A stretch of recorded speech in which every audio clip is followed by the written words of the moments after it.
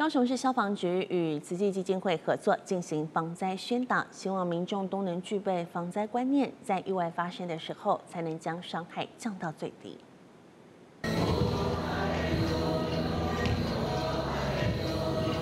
宣导防灾避难，主要的对象是这群社区关怀和长照单位的长辈。居家防护，好，这个安全，好，这是每一个家庭都要做重视的。怎么样保护自己？好，这个对这个长辈的这个安全是非常重要的一环。消防局的宣讲重点，首重民宅火警防灾，因为根据出勤统计，打火救灾最常遇到这个状况。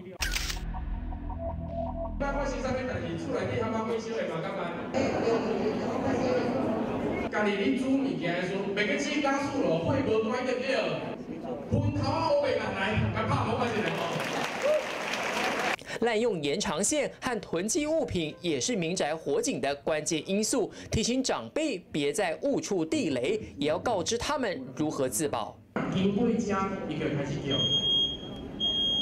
除了家户装设火灾警报器，发生火警要大声喊失火了，逃离火场，以及立刻关门阻绝火焰，开窗等待救援，好让自己能够至少要能够全身而退，然后后续火警的部分再由消防人员来抢救。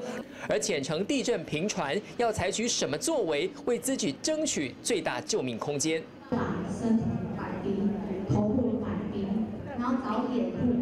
瓷器以往都是侧重在复原重建这边，那我们想说，因为瓷器呃非常热心公益，那力量非常的大，那我们希望他们加入我们这个准备，就是灾前的宣呃宣导跟预防的这个环节。救灾首重预防，消防单位和慈济携手宣导居家防灾避难，提升为整备防护的一环。